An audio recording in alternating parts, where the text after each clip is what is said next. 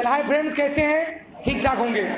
तो आज एक वीडियो क्लिप गया होगा, आप देखते होंगे। और जो वादा आपसे किए थे कि लाइव में हम आएँगे, उसमें थोड़ा सा टेक्निकल फॉल्ट हो रहा है, इसीलिए लाइव हम नहीं अभी आ पा रहे हैं। लेकिन सभी लोग लगे हुए हैं मैनेजमेंट के टीम लगे हुए हैं यूट्यूब चैनल के टीम लगे हुए हैं कि सर का लाइव क्लास कैसे होगा लाइव क्लास कैसे होगा।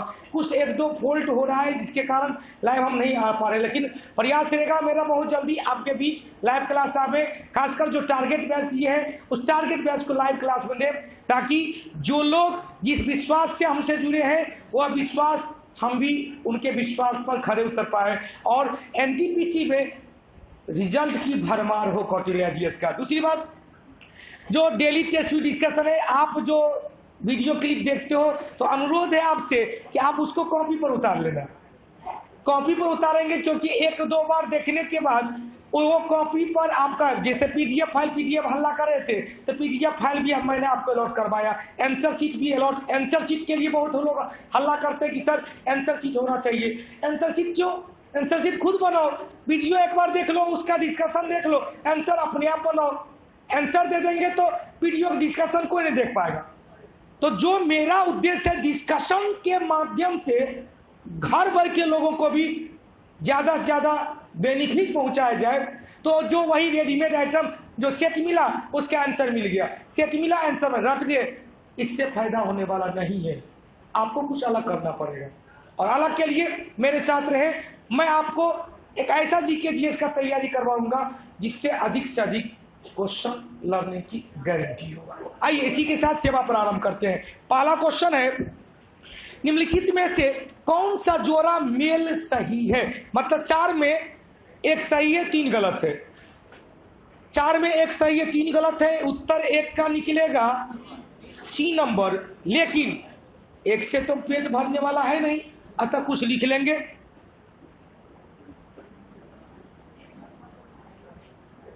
टिटेनस रोग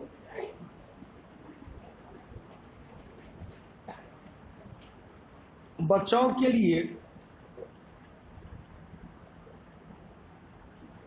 बच्चों में डीपीटी का वैक्सीन का टीका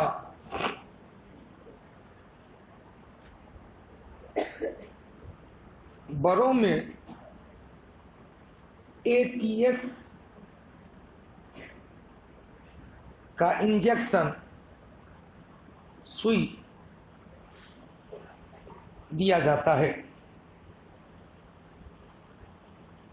बच्चों में डीपीटी, बड़ों में एटीएस। तीनों को देखें, दोनों को। अब देखें, डीपीटी को ट्रिपल एंटीजन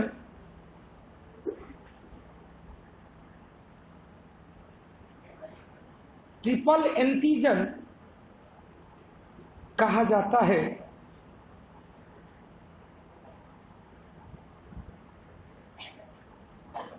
क्योंकि इसे तीन रोग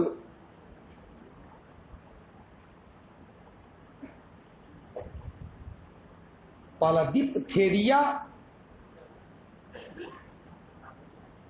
बी से डिप्थेरिया परट्यूटिस परट्यूटिस जिसे ही कहते हैं, काली खांसी। एवं टेटनस रोग से बचाव के लिए दिया जाता है।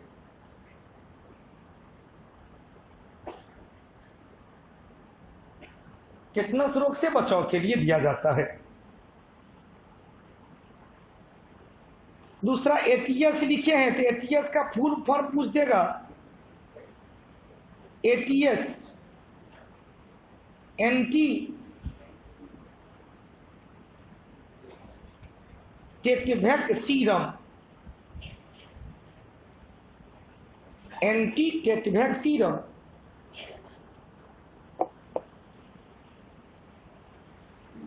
अब देखिए बीसीजी का टीका दिया हुआ है तो बीसीजी का टीका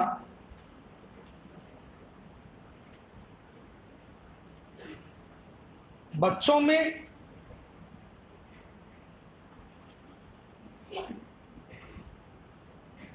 टीबी जिसे ट्यूबर क्लोसिस कहते हैं।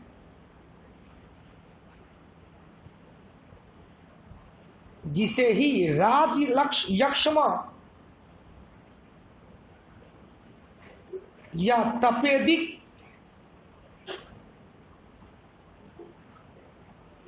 या क्षय रोग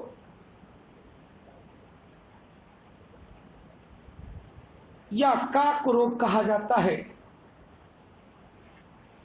क्षय रोग या काक रोग कहा जाता है। से बचाव के लिए।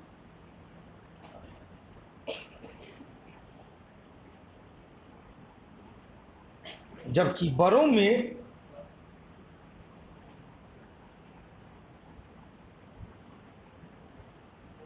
बड़ों में इस रोग से बचाव के लिए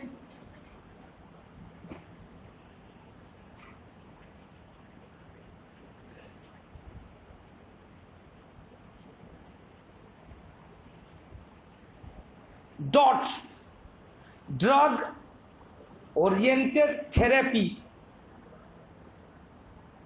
DOTS का प्रयोग किया जाता है। डॉट्स का प्रयोग किया जाता है।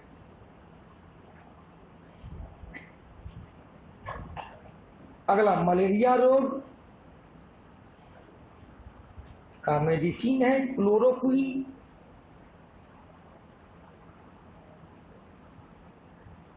Chloroquine scurvy vitamin C,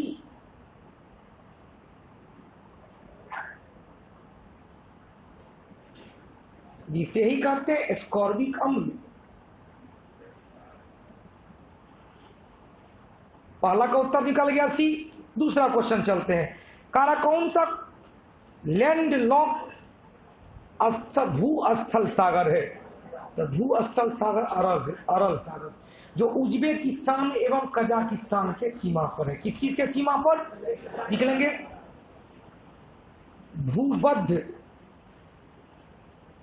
या लैंड लॉक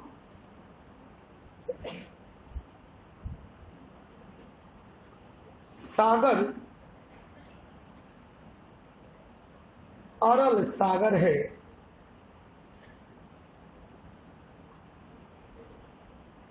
जो कजाकिस्तान एवं उज्बेकिस्तान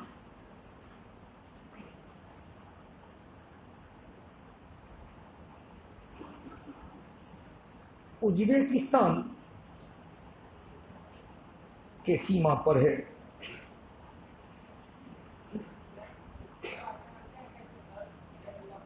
चारों ओर भूमि से घिरा हुआ है।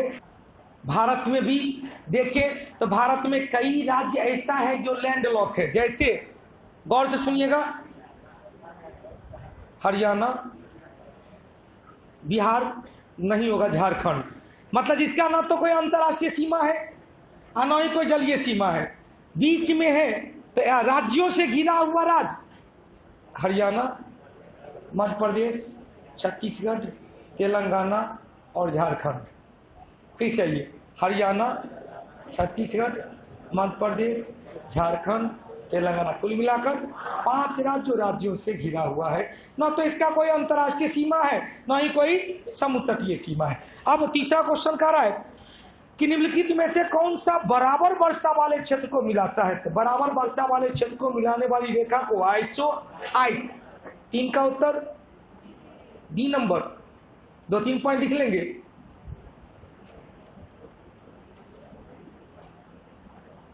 आइसो हाइट अंग्रेज़ी टर्म पूछेगा। आइसो हाइट समान वर्षा वाला क्षेत्र।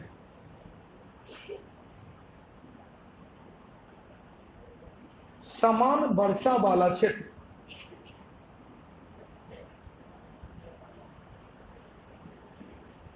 समान वर्षा वाला क्षेत्र। अगला आइसो हिप्स आपके आपके उत्तर निकलेगा ये। अगला isohypse A number isohypse समुद्र तल से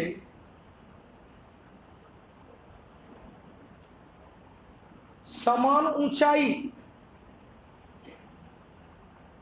समुद्र तल से समान ऊंचाई को मिलाने वाला क्षेत्र, या को मिलाने वाली रेखा, को मिलाने वाली रेखा।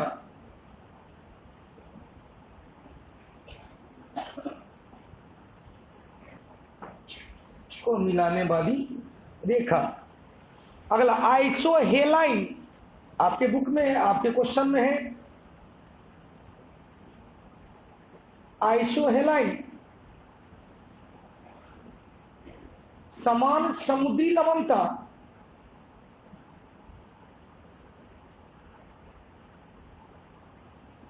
को मिलाने वाली रेखा? ये सभी काल्पनिक लाइन है इमेजिंग रेखा है। आइसो बार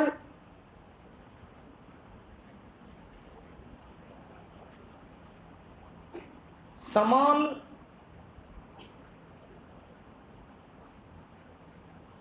वायु दाब को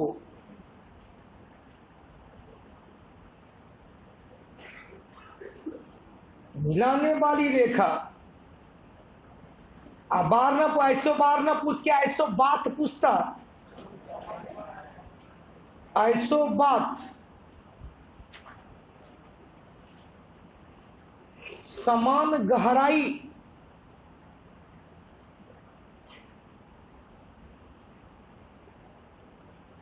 वाले स्थान को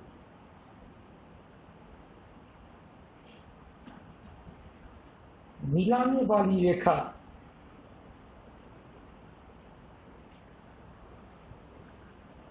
हो गया। चौथा क्वेश्चन चले। चेचक होने का रोग। वायरस है भेरी ओला। भेरी ओला। भेरी ओला। लेकिन भेरी शोला रहता। तो चिकन पॉक्स दो प्रकार का पॉक्स, एक स्मॉल पॉक्स एक चिकन पॉक्स एक चेचक, एक छोटी माता। छोटी माता भेरी सोला और चेचक भेरी ओला लिख लेंगे चार का उत्तर क्या होगा? बी नंबर देखिए, चेचक रोग, चेचक को ही पॉक्स कहते हैं। चेचक रोग वेरिओला वायरस के कारण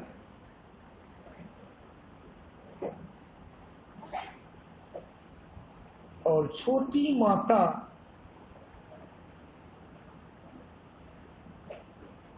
वेरिसोला वायरस के कारण।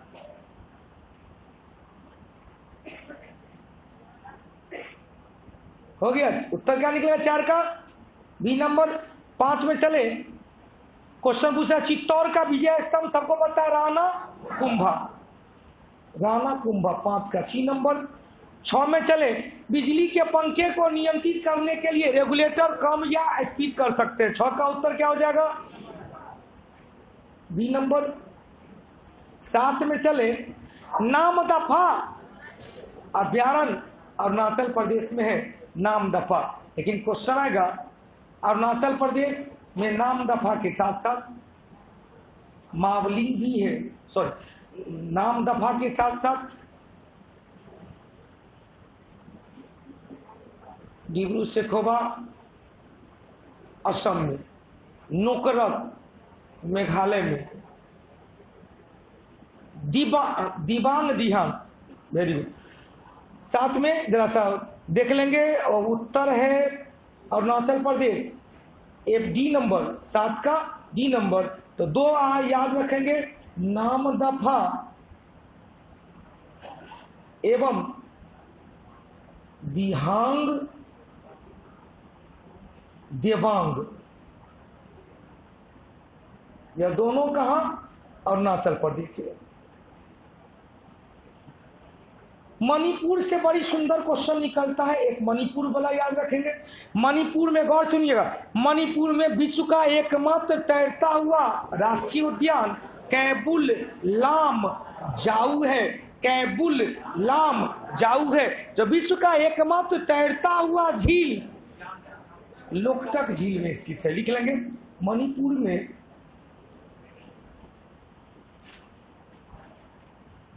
लोकटक झील लोकटक झील मणिपुर में लोकटक झील में स्थित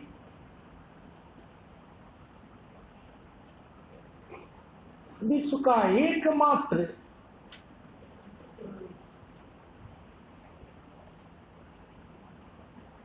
तैरता हुआ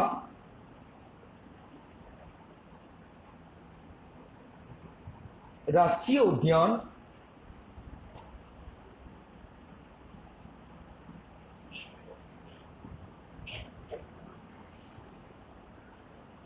कैबुल लाम जाऊ है।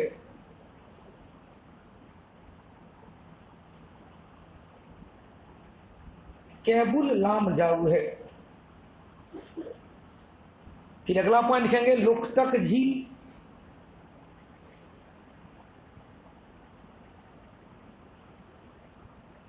विश्व का एकमात्र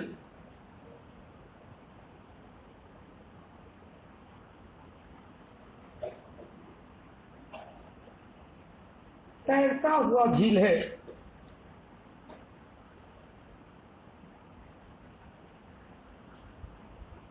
जिसे फुडनिस झील भी कहा जाता है।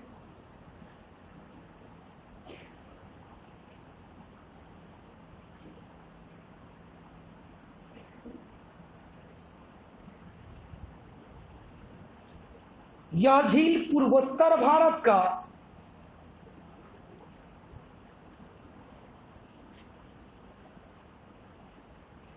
पूर्वोत्तर भारत का सबसे बड़ा यह झील पूर्वोत्तर भारत का सबसे बड़ा खारे पानी का झील है।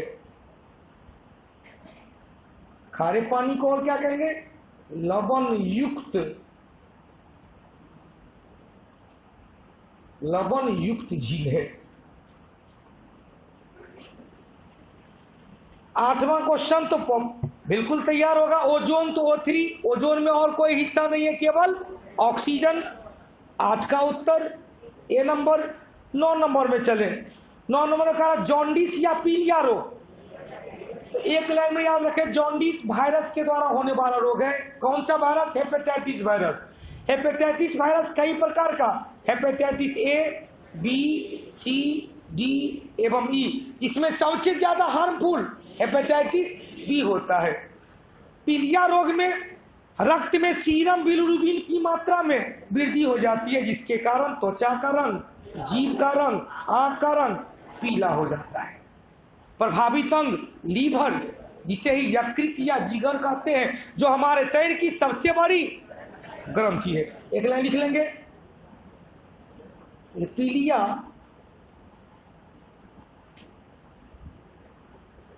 जिसे कहते जॉन्डिस।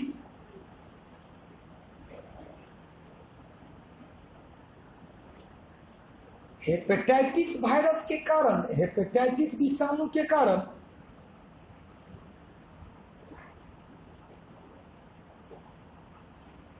हेपेटाइटिस वायरस के कारण होने वाला रोग है।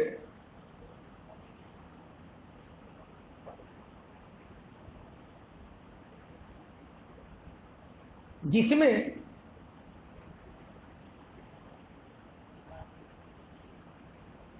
ब्लड में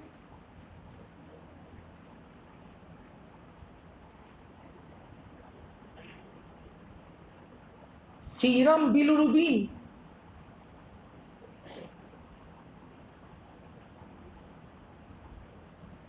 ब्लड में सीरम बिलुरुबिन की मात्रा में सीरम बिलुरुबिन की मात्रा में वृद्धि हो जाती है। सीरम बिलुरबिन की मात्रा में वृद्धि हो जाती है, जिसके कारण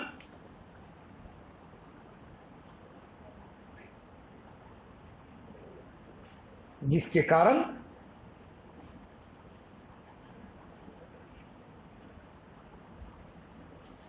त्वचा जीभ एवं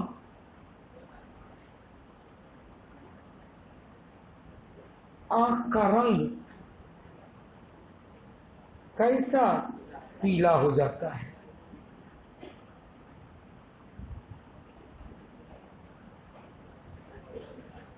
अब क्वेश्चन आएगा प्रभावित अंग कौन भाई? प्रभावित अंग, यकृत जिसे ही जिगर,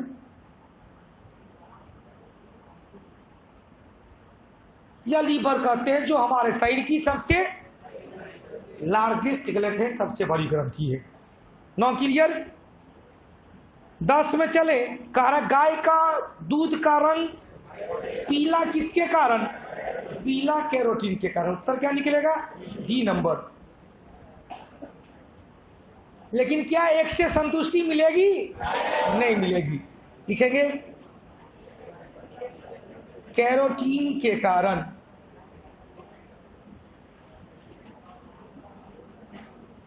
कैरोटीन के कारण, तेरे कारण। क्या क्या न सहे हम ए सितम आपके खातिर। ये जान भेज जाएगी ये सितम है आपके खातिर। उसी तरह कैरोटीन के कारण क्या क्या हुआ? उंगली पर गिनिए। दूध का पीला रंग, गाजर का लाल रंग, पत्ती का पीला रंग, जलीय जीव जंतु एवं पेड़ पौधे में वाटर प्रूफ मेम्ब्रेन जल रोधी कवच, कैरोटीन के कारण। लेकिन पीला पीला, अभी पीला पीला कहे, लेकिन उल्टा हो जाएगा। जेंथोफिल के कारण फूल का पीला रंग दूध का उजला रंग केसीन के कारण, सेब का लाल रंग रेबोफ्लोरिन के कारण, मिर्चाई का लाल रंग कैप्सेनमीन के कारण, चुकुंदर का लाल रंग बीटरमीन के कारण, टमाटर का लाल रंग लाइकोपिन के कारण, खून का लाल रंग हीमोग्लोबिन के कारण, मंगल ग्रह का लाल रंग आयरन ऑक्साइड के कारण, मिट्टी का लाल रंग आयरन ऑक्साइड के कारण। समझ में आया? दो तीन को लिख लेंगे। लिखेंगे कैरोटीन के कारण। दूध का हल्का पीला रंग।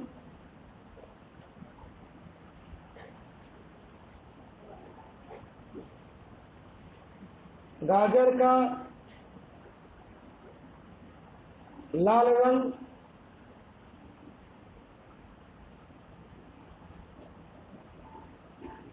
पत्ती का पीला रंग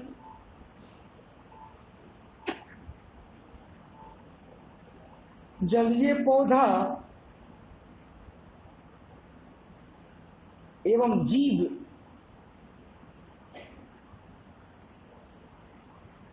का जलरोधी कवच।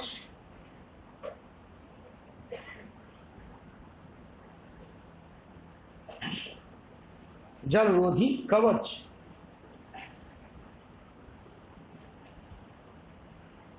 हो गया? लेकिन दूध का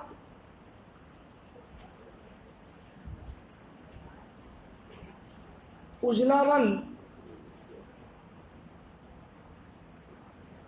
केसीन के कारण, दूध का उजला रंग केसीन के कारण चुकुंदर का लाल रंग।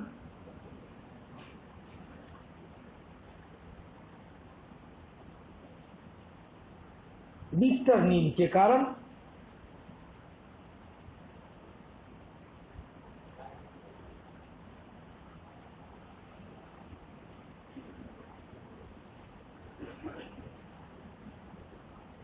सेब का लाल रंग रेबोफ्लोबिन के कारण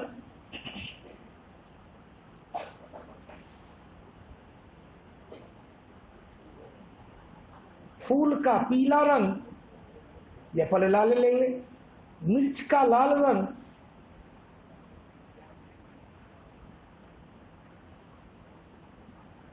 कैप्सन मीन के कारण,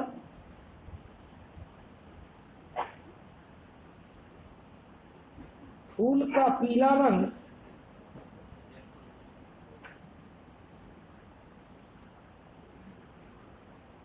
जन तो फील के कारण इटीसी मान दीजिएगा उत्तर भी निकल गया होगा दस का डी नंबर। ग्यारह नंबर चलते हैं। ग्यारह नंबर क्वेश्चन का है, कौन सा संक्रामक रोग है? गौर से सुनिएगा। संक्रामक रोग को छुआछूत रोग कहा गया। क्या कहा गया?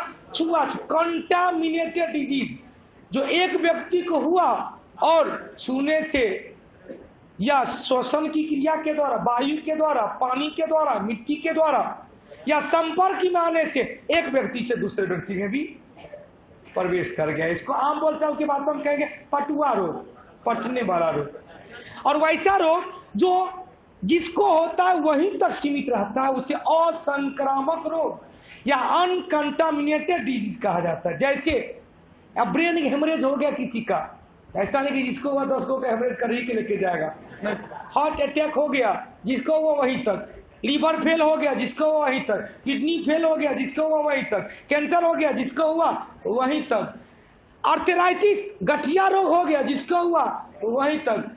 डायबिटीज़ जिसको हुआ वहीं तक। मतलब यह ये सब क्या हुआ? नॉन कंटामिनेटेड डिज़ीज़ और संक्रामक। लेकिन एड्स हो गया डिप्थीरिया हो गया प्लेग हो गया टेटनस हो गया। मतलब जितना भी बैक्टीरिया के द्वारा वायरस के द्वारा कवक के द्वारा और प्रोटोजोनल के द्वारा जितने भी रोग है, वो सब क्या है? संक्रामक रोग है जो एक को होता है और कई को अपने आगोश में ले लेता है। आप इसके लिए YouTube चैनल कौटिल्या जीएस का खोलिएगा दूगो टॉपिक दिया होगा, उसको देख लीजिएगा। उत्तर भी निकल गया होगा। इसको लिखाने की कोई आवश्यकता नहीं है। उत्तर क्या निकलेगा? कौन सा संक्रामक है? बी नंबर डिप्थेरिया क्योंकि मधुमेह, गठिया, कैंसर, ये सभी असंक्रामक रोग है। बारह नंबर क्वेश्चन कह रहा है, मार्स गैस का मुख्य स्रोत। सबको पता है मीथेन? मीथेन से तीन गो क्वेश्चन याद रखिएगा। मार्स गैस, कौमा वायु गैस, बायो गैस, नॉट वायु वायु गैस को कहते हैं जैव या गोबर।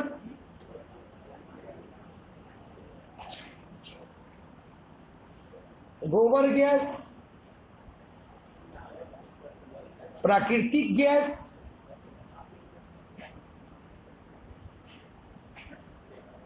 प्राकृतिक गैस,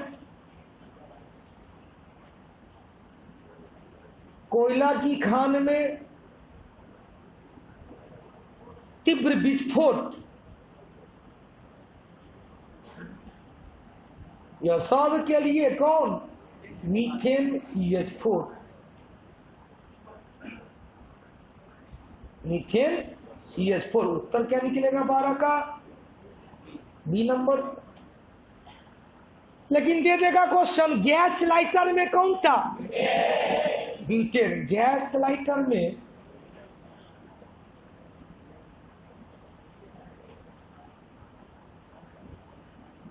ब्यूटेन और एलपीजी सिलेंडर में ब्यूटेन आइसोब्यूटेन और propane LPG cylinder normal butane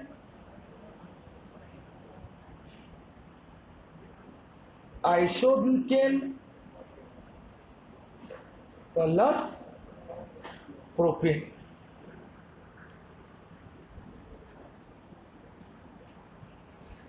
तेरह नंबर क्वेश्चन है पेयजल में रोगाणुनाशक के लिए किसका यूज़ किया गया?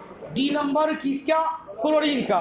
क्लोरीनिफिकेशन कहा जाता है। स्टेशन, रेलवे स्टेशन पर जो पानी में बू आती है, गंध आती है, क्योंकि उस पानी में क्लोरीन डाला रहता है, जो जीवाणु विषाणु को मार कर देता है, क्लीन कर देता है। मतलब रोगाणु नाशो। क्लोरीन का प्रयोग किया लेकिन क्वेश्चन आएगा, जल का अशुद्धि को हटाने के लिए तो जल के अशुद्धि को हटाने के लिए भी क्लोरिनिफिकेशन किया गया, लेकिन फिटकिरी का भी प्रयोग किया गया। फिटकिरी के प्रयोग करने से अशुद्धियाँ थक्का के रूप में अलग होने लगता है, शुद्ध जल अलग हो जाता है। उत्तर भी निकल गया हुआ तेरह का। ई नंबर, चौदह नंबर चले।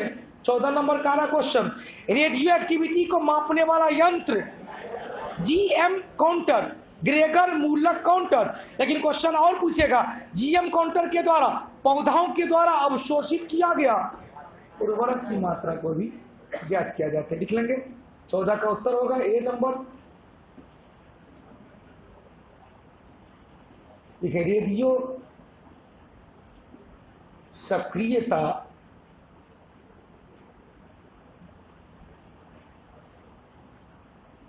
रेडियो। एक्टिविटी को मापने वाला यंत्र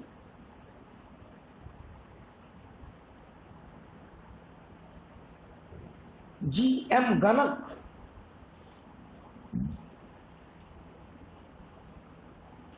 ग्रेगर मूलक गणक गणक को ही कहते हैं काउंटर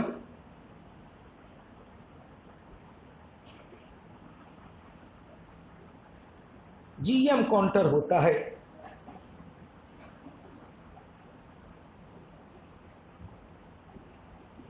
देखिए इसी के द्वारा, इसी जीएम काउंटर के द्वारा, इसी के द्वारा,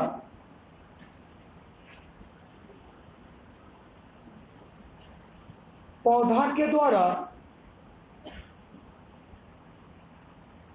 अवशोषित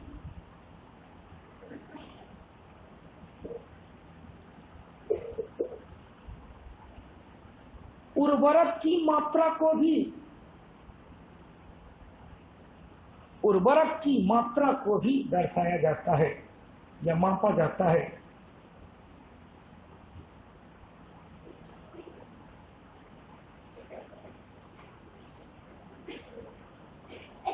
हो गया पंद्रह नंबर क्वेश्चन चले। गुप्त काल में चांदी के सिक्के को क्या कहा गया? रुपयक यदि क्वेश्चन घुमा देगा चांदी का सिक्का किसने जारी किया? तो चंद्रगुप्त विक्रमादित्य ने शकों के उन्मूलन के अवसर पर विक्रमादित्य की उपाधि धारण किया। चंद्रगुप्त द्वितीय ने शकों के उन्मूलन के अवसर पर विक्रमादित्य की उपाधि धारण किया और चांदी का सिक्का, जिसे रुपयक कहा गया। लेकिन क्वेश्चन पूछेगा, मध्यकाल में चांदी का सिक्का शेरशाह सूर्य के द्वारा जिसे रुपया कहा गया। लिख लेंगे? उत्तर क्या निकलेगा पंद्रह का? बी नंबर, पंद्रह में बी रुपया कहा गया? देखिए गुप्त शासक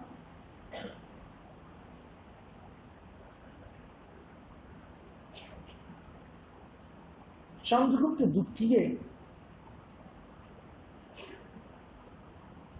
चंद्रगुप्त द्वितीय ने शकों के उन्मूलन शकों के उन्मूलन के अवसर पर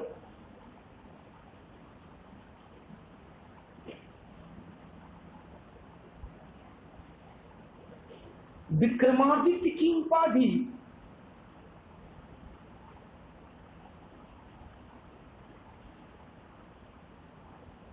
धारण किया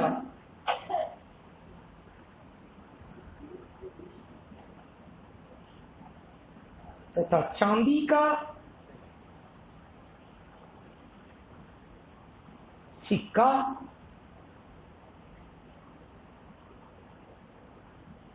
रुपया को जारी किया।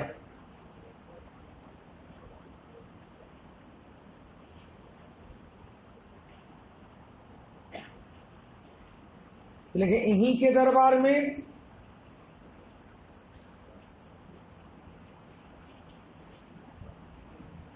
इन्हीं के दरबार में संस्कृत साहित्य के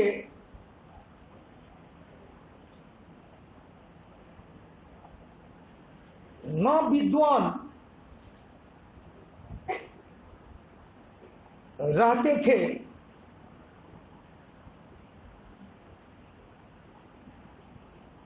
जिन्हें नवरत्न कहा गया।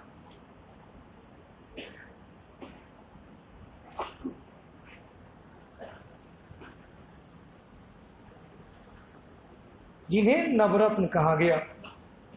अब नवरत्न में सबसे प्रमुख थे कालिदास, जिन्हें भारत का शेक्सपियर कहा गया। मेघदूतम, रघुवंशम विक्रमो वर्षीय कुमार संभवम मालविका, मालविकाग्नि मित्र, अभिज्ञान शकुंतलम, ये सभी कालिदास की प्रमुख रचना।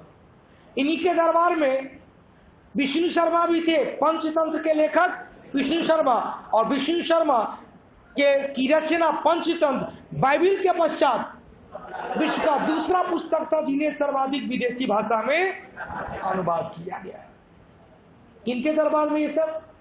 चंद्रगुप्त विक्रमादित्य। अगला क्वेश्चन 16 नंबर में, मोबाइल फोनों में यूज़ आने वाला सी डी एम ए का पूरा नाम? Code division multiple access. C number? 17 number में चले सीटीबीटी का पूरा नाम, comprehensive test ban treaty. C number 18 number चले। कौन सा संवैधानिक उपबंध द्वारा स्थापित नहीं किया गया है? तो इसमें देखिए, वित्त आयोग उत्तर निकलेगा बी नंबर। लेकिन और देख ले, वित्त आयोग 280 अनुच्छेद में है।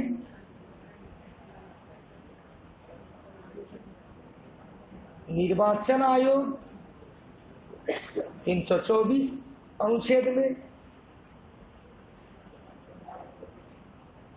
संघ लोक सेवा आयोग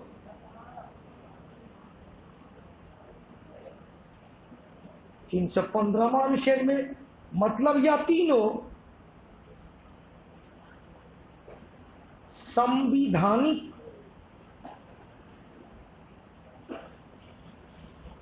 संस्था है। तो इसकी संविधान में ऑलरेडी चर्चा किया गया है लेकिन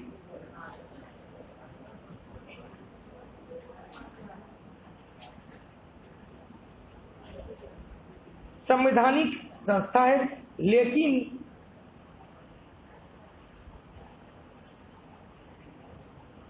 योजना आयोग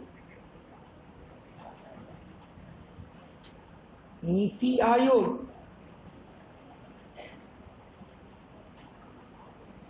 राष्ट्रीय विकास परिषद राष्ट्रीय विकास परिषद ये सभी संवे संविधानेतर।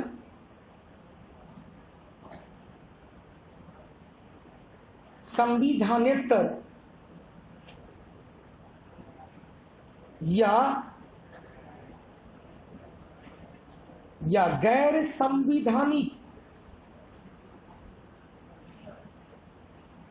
या सलाहकारी। या परामर्शदात्री।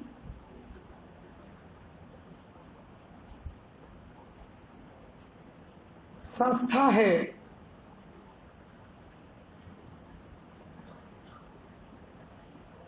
जिसका गठन बड़ी क्वेश्चन डॉट में आएगा। योजना आयोग, नीति आयोग, राष्ट्रीय विकास परिषद का गठन संसद में एक प्रस्ताव पारित करके न पहला ऑप्शन देगा, अधिनियम पारित करके। बिल्कुल गलत। क्योंकि जब यह अधिनियम पारित होगा तो कानून बन जाएगा। संसद में एक केवल प्रस्ताव पारित करके किया जाता है। इसका गठन संसद में प्रस्ताव पारित करके किया गया।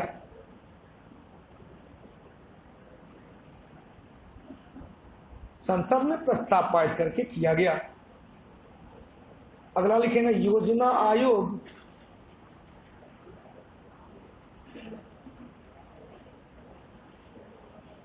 गठन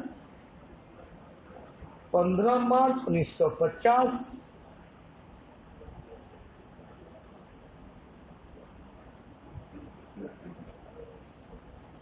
समाप्ति 31 दिसंबर 2014 31 दिसंबर 2014 फिर नीति आयोग एक जनवरी 2015 NDC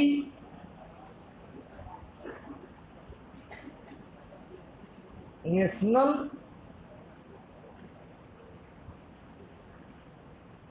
development council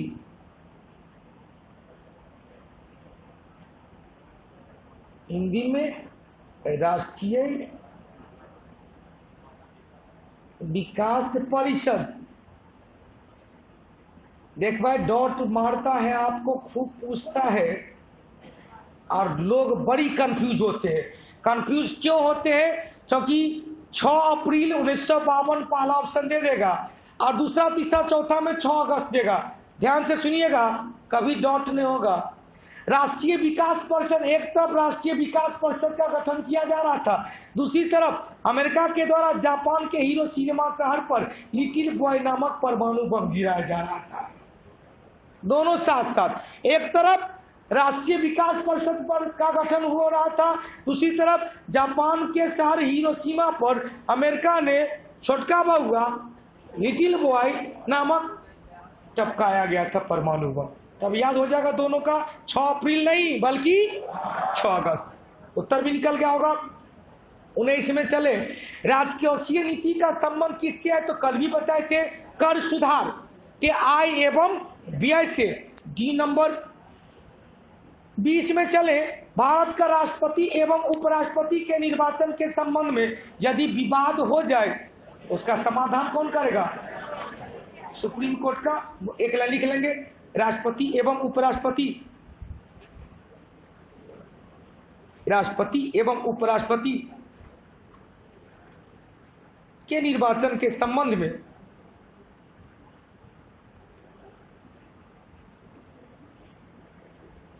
के निर्वाचन के संबंध में?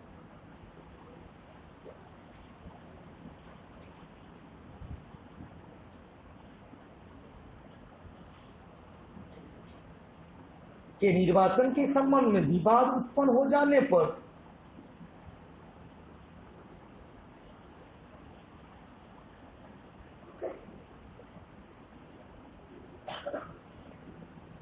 विवाद उत्पन्न हो जाने पर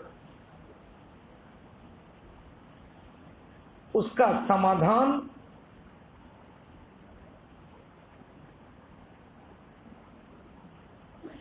उसका समाधान सर्वोच्च न्यायालय के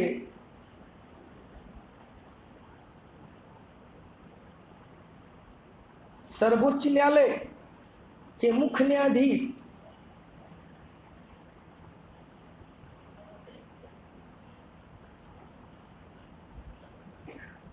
के मुख्य न्यायाधीश के द्वारा किया जाता है।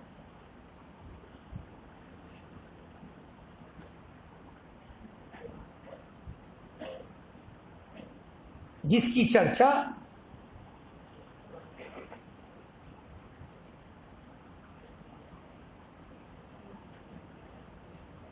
जिसकी चर्चा संविधान के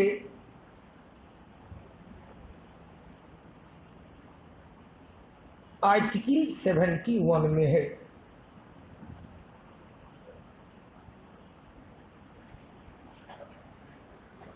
इक्कीस नंबर क्वेश्चन का संविधान बनाते समय कौन सा आदर्श प्रस्तावना में शामिल था? याद रखेंगे, हमारे संविधान की मूल प्रस्तावना में तीन बातें नहीं था। समाजवादी, पंथ या धर्म निरपेक्ष एकता एवं अखंडता। समाजवादी, पंथ या धर्म निरपेक्ष एकता एवं अखंडता। समाजवादी, पंथ या धर्म निरपेक्ष एकता एवं अखंडता। इन तीनों शब्द को बयालीसवीं संवैधानिक संशोधन उन्नीस सौ छिहत्तर के द्वारा जोड़ा गया हमारे संविधान की प्रस्तावना में अब तक केवल एक बार संशोधन हुआ है, वो कौन? बयालीसवीं 1976 में, जो स्वर्ण सिंह समिति के सिपाही पर लाया गया था। इस संशोधन के द्वारा हमारे संविधान में उनसठ प्रावधान को, उनसठ कंटेंट को जोड़ा गया था। अतः बयालीसवीं संवैधानिक संशोधन को भारतीय संविधान का लघु संविधान कहा जाता है। उत्तर क्या निकलेगा? समाजवादी तो जहाँ समाजवादी है लिखा हुआ, वहाँ पर दो और जोड़ लेंगे। इक्कीस का सी नंबर, समाजवादी।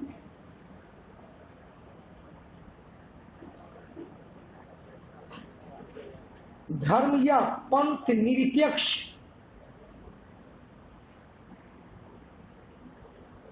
धर्म या पंथ निरपेक्ष। एकता एवं अखंडता। मूल प्रस्तावना में नहीं था। अब लिखेंगे नहीं, समझ लेंगे। मूल प्रस्तावना में नहीं था, जिसे बयालीसवें संवैधानिक संशोधन उन्नीस सौ छिहत्तर के द्वारा जोड़ा गया।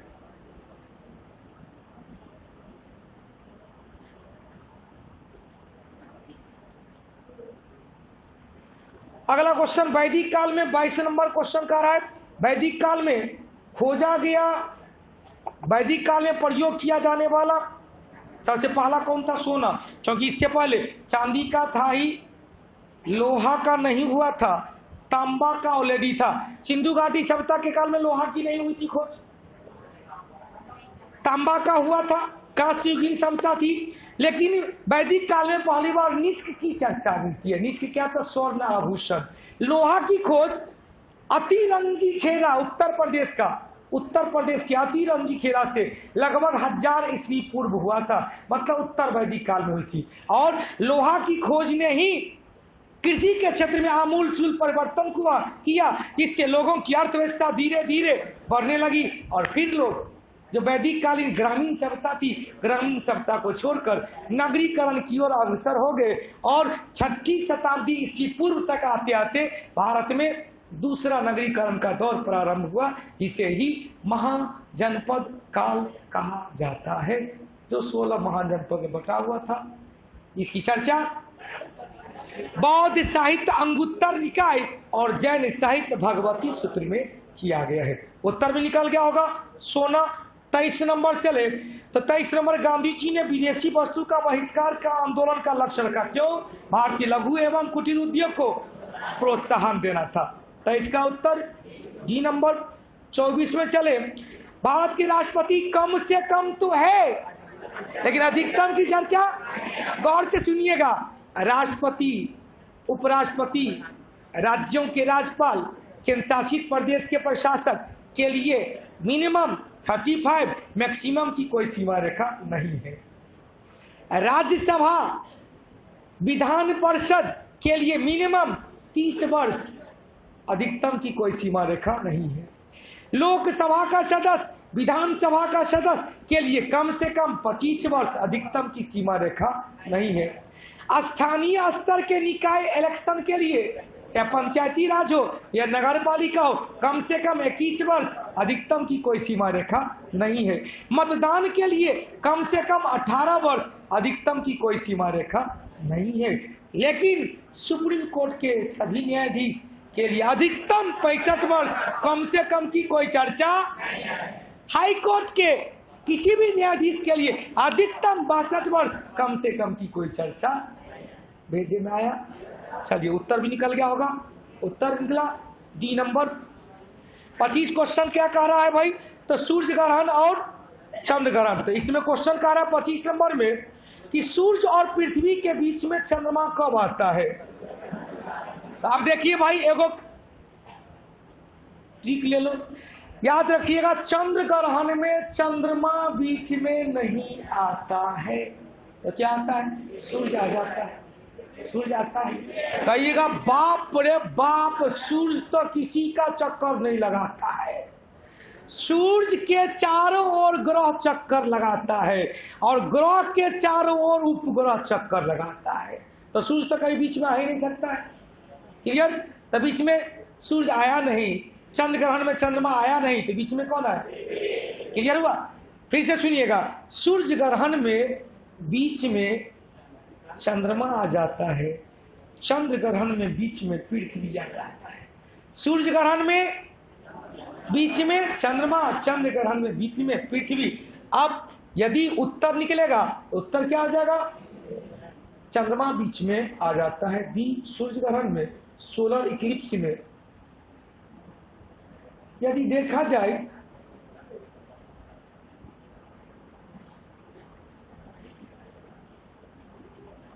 स्क्रीन पर जरा सा देखें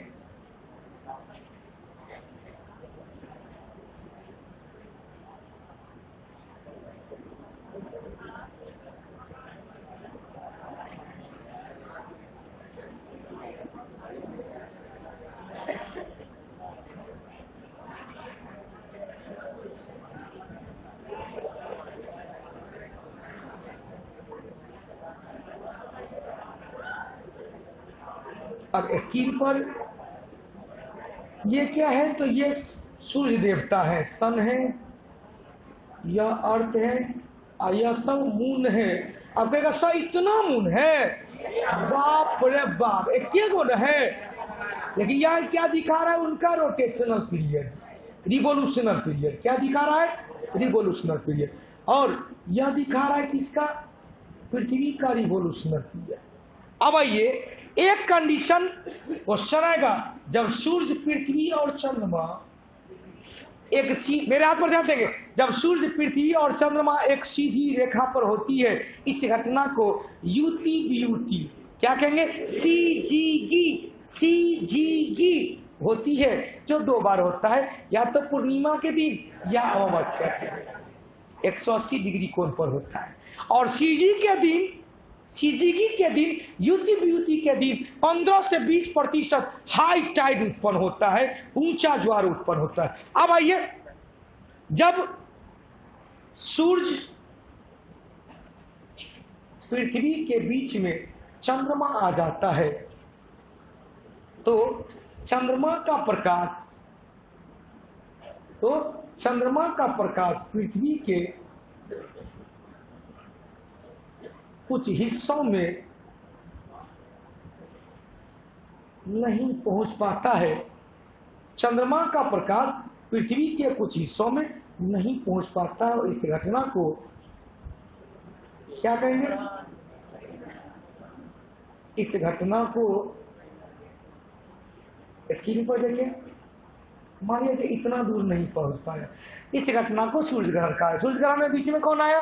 चंद्रमा आया लेकिन जब चंद्रमा अपने रोटेशनल पथ में पृथ्वी के उस पार चला जाता है मतलब चंद्रमा एक तरफ़, चंद्रमा यहाँ आ गया, बीच में पृथ्वी आ गया, एक तरफ़ सूर्य है तो पृथ्वी के कारण चंद्रमा पर सूर्य का प्रकाश नहीं पहुँच पाता इस घटना को लूनर इक्लिप्स चंद्र ग्रहण कहा गया।